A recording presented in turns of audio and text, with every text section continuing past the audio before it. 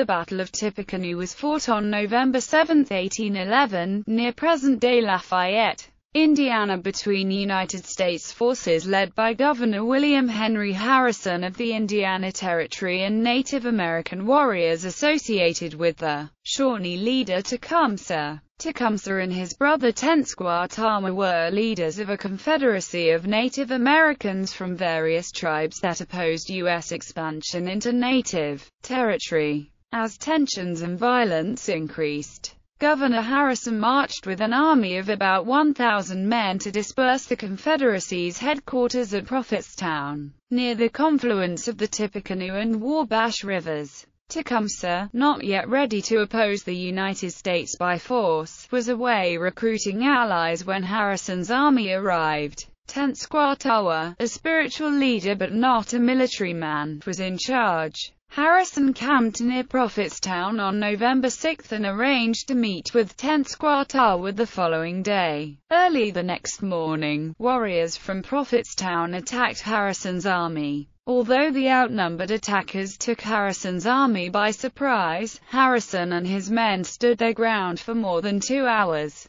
The natives were ultimately repulsed when their ammunition ran low. After the battle, the natives abandoned Prophetstown and Harrison's men burned it to the ground, destroyed the food supplies stored up for the winter, and returned home. Harrison, having accomplished his goal of destroying Prophetstown, proclaimed that he had won a decisive victory. He acquired the nickname Tippecanoe, which was popularized in the song Tippecanoe and Tyler too, during the election of 1840, when Harrison was elected president. The defeat was a setback for Tecumseh's Confederacy from which it never fully recovered. However, the natives soon rebuilt Prophetstown, and frontier violence increased after the battle until Tecumseh was finally killed in 1813. American public opinion blamed the violence on British interference, in terms of financial and munitions support for the Indians. This suspicion led to further deterioration of U.S. relations with Great Britain and served as a catalyst of the War of 1812, which began six months later. By the time the U.S. declared war on Great Britain in June 1812, Tecumseh's Confederacy was ready to launch its war against the United States in alliance with the British.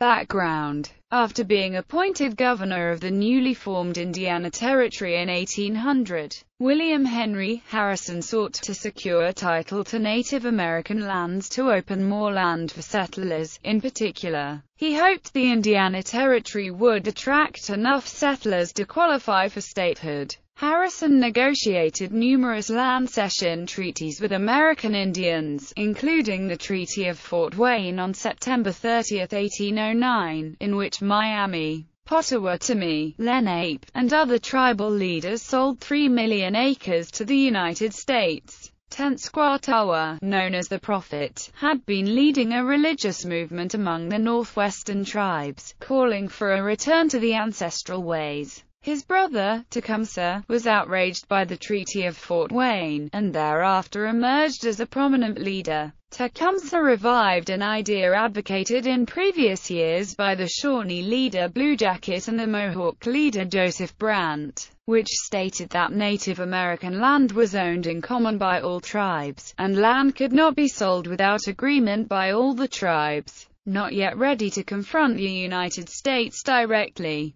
Tecumseh's primary adversaries were initially the Native American leaders who had signed the treaty. He began by intimidating them and threatening to kill anyone and their followers who carried out the terms of the treaty. Tecumseh began to travel widely, urging warriors to abandon the accommodationist chiefs and to join the resistance at Prophetstown. Tecumseh insisted that the Fort Wayne Treaty was illegitimate. In an 1810 meeting with Harrison, he demanded that Harrison nullify the treaty and warned that settlers should not attempt to settle the land sold in the treaty. Harrison rejected his demands and insisted that the tribes could have individual relations with the United States. In the meeting Tecumseh warned Harrison that he would seek an alliance with the British if hostilities broke out. Tensions between the United States and Britain had been high for several months as a result of British interference in U.S. commerce with France. As early as 1810, British agents had sought to secure an alliance with Native Americans to assist in the defense of Canada should hostilities break out. But the natives had been reluctant to accept their offer, fearing they had little to benefit from such an arrangement. In August 1811, Tecumseh again met with Harrison at Vincennes, where Tecumseh assured Harrison that the Shawnee brothers meant to remain at peace with the United States. Tecumseh then traveled to the south on a mission to recruit allies among the five civilized tribes. Most of the southern nations rejected his appeals, but a faction of the Creeks, who came to be known as the Red Sticks, answered his call to arms leading to the Creek War, which also became a part of the War of 1812. Harrison left the territory for business in Kentucky shortly after the meeting with Tecumseh, leaving Secretary John Gibson as acting governor. Gibson, who had lived among the Miami tribe for many years, was quick to learn of Tecumseh's plans for war and immediately called out the territory's militia and sent emergency letters calling for the return of Harrison. By mid-September, most of the militia regiments had formed. By then, Harrison had returned, accompanied by a small force of Army regulars, and had taken command of the militia.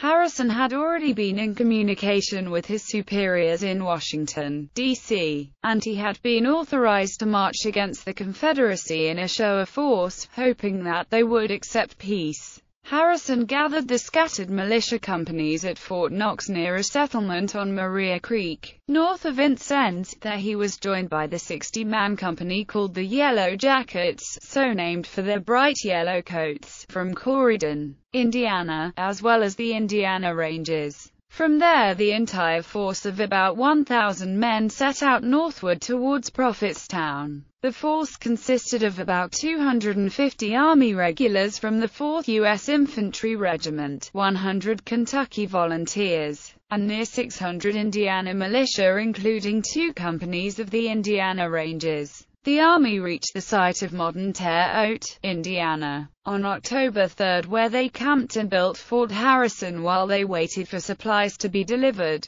A scouting party of Yellow Jackets was ambushed by Native Americans on October 10, causing several casualties and preventing the men from continuing to forage. Supplies quickly began to run low. By October 19, rations were cut and remained so until October 28 when fresh supplies arrived via the Wabash River from Vincennes. With the army resupplied, Harrison resumed his advance to Prophetstown on October 29 battle. As Harrison's forces approached Prophetstown late on November 6, they were met by one of Tenskwatawa's followers waving a white flag. He carried a message from Tenskwatawa, requesting a ceasefire until the next day when the two sides could hold a peaceful meeting. Harrison agreed to a meeting, but was wary of Tenskwatawa's overture, believing that the negotiations would be futile. Harrison moved his army to a nearby hill near the confluence of the Wabash and Tippecanoe rivers.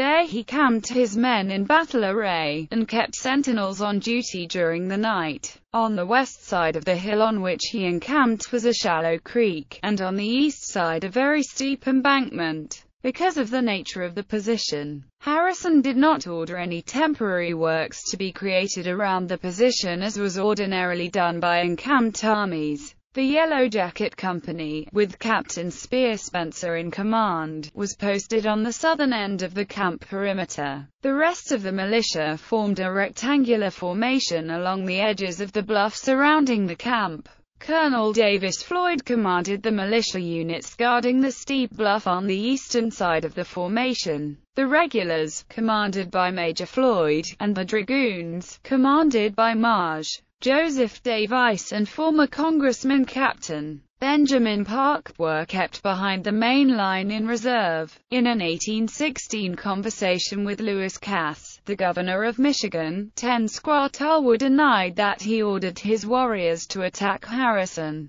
and blamed the Winnebagoes in his camp for launching the attack. Other accounts also point to the Winnebago as the responsible party for encouraging the attack and suggest that Tenskwatawa was unable to control his followers as panic set in. Tenskwatawa's followers were worried by the nearby army and feared an imminent attack. They had begun to fortify the town, but the defenses were not yet completed. During the evening, Tenskwatawa consulted with the spirits and decided that sending a party to murder Harrison in his tent was the best way to avoid a battle. He assured the warriors that he would cast spells that would prevent him from being harmed and confuse Harrison's army so they would not resist. The warriors then moved out and began to surround Harrison's army looking for a way to sneak into the camp.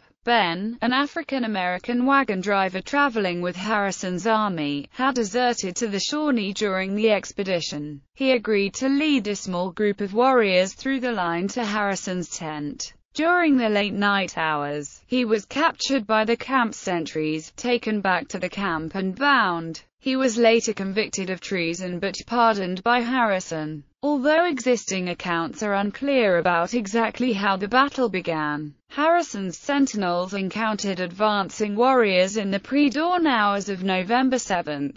Around 4.30 a.m., the soldiers awoke to scatter gunshots and discovered themselves almost encircled by Tenskwatawa's forces. Contact was first made on the northern end of the perimeter, but the movement was probably intended as a diversion. Shortly after the first shots, fierce fighting broke out on the opposite end of the perimeter as the warriors charged Harrison's line on the southern corner. The attack took the army by surprise as the warriors shouted war calls and rushed the defenders. Spencer was among the first to be killed, being shot in each thigh. Governor Harrison later recorded his death in a dispatch to Washington saying, Spencer was wounded in the head. He exhorted his men to fight valiantly. He was shot through both thighs and fell, still continuing to encourage him. He was raised up, and received another ball through his body which put an immediate end to his existence. Lieutenants Nuder and Klaus, the other two Yellow Jacket commanding officers, were also soon wounded and killed. Without leadership, the Yellow Jackets began to fall back from the main line, retreating with the Sentinels.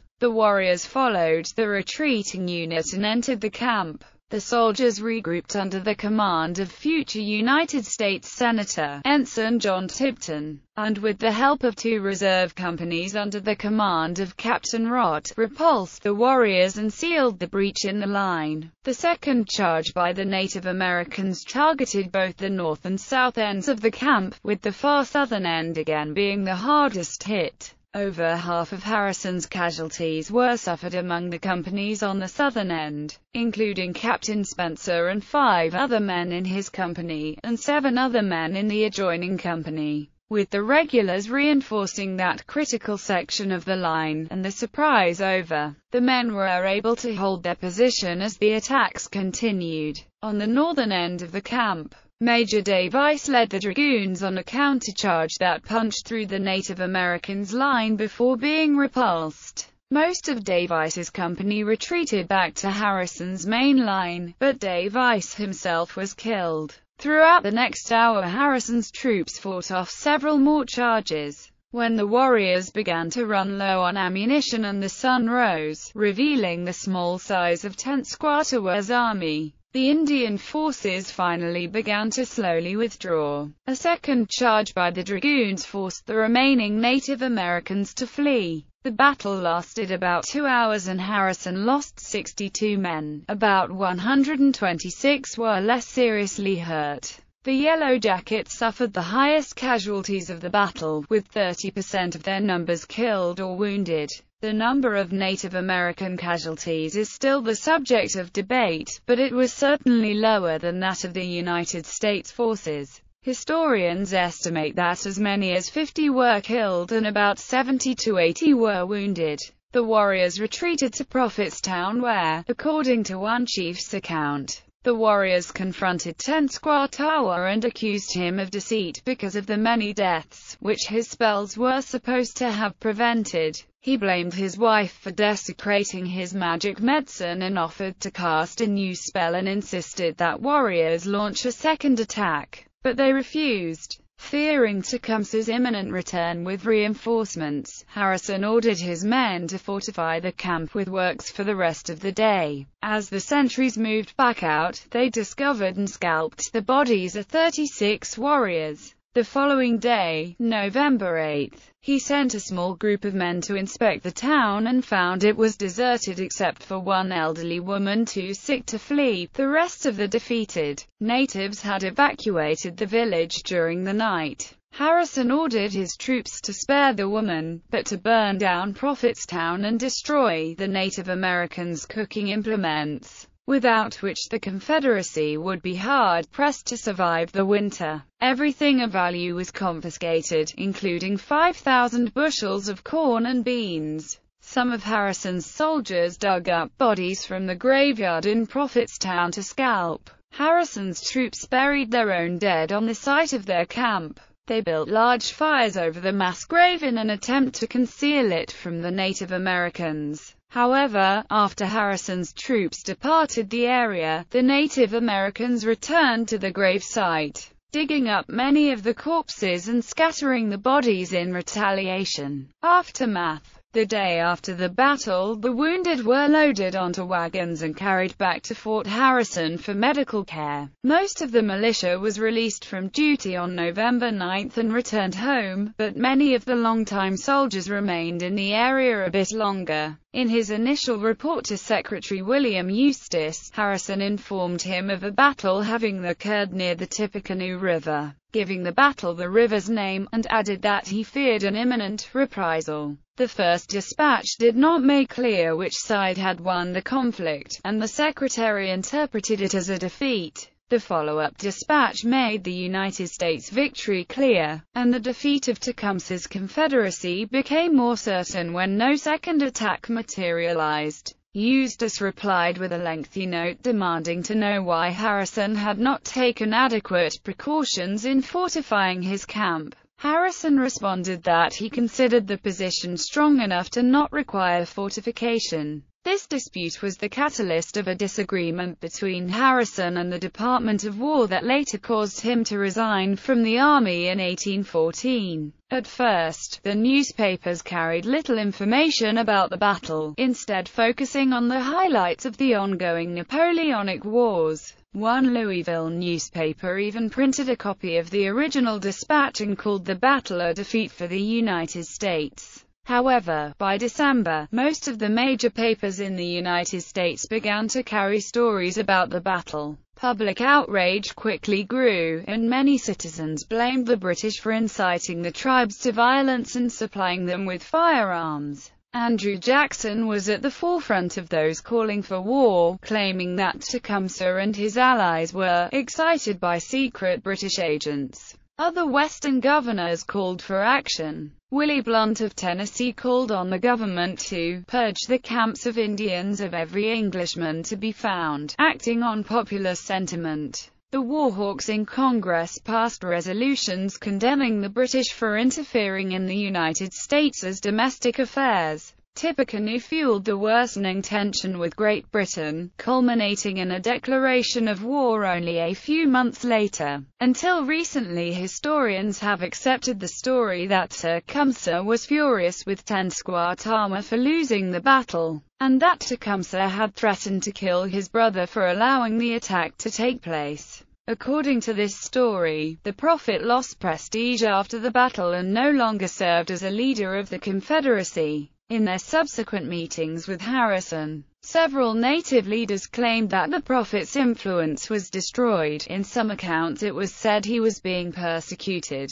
Historians Alfred A. Cave and Robert Owens have argued that the natives were probably trying to mislead Harrison in an attempt to calm the situation and that Tenskwatawa actually continued to play an important role in the Confederacy. Harrison, having accomplished his goal of dispersing the natives of Prophetstown, proclaimed that he had won a decisive victory. But some of Harrison's contemporaries, as well as some subsequent historians, raised doubts about whether the battle was as successful as Harrison claimed. In none of the contemporary reports from Indian agents, traders, and public officials on the aftermath of Tippecanoe we find confirmation of the claim that Harrison had won a decisive victory, wrote historian Alfred Cave. The defeat was a setback for Tecumseh's Confederacy, but the natives soon rebuilt Prophetstown, and frontier violence actually increased after the battle. Adam Jortner says the battle was a disaster for both sides, although it did make Tenskwatawa's religious movement stronger. On December 16, 1811, the first of the New Madrid earthquakes shook the South and the Midwest.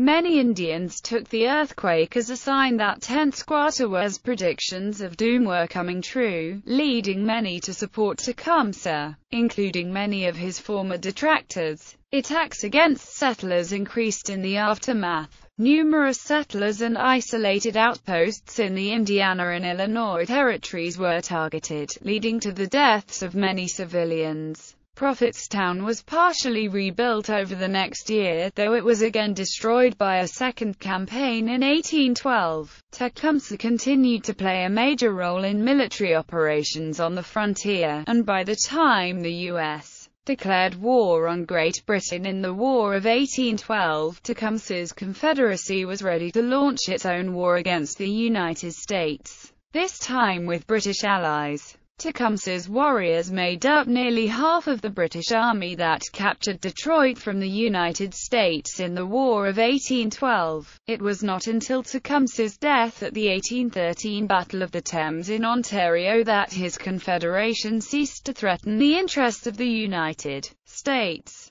When William Henry Harrison ran for President of the United States during the election of 1840, he used the slogan, Tippecanoe and Tyler too, to remind people of his heroism during the battle.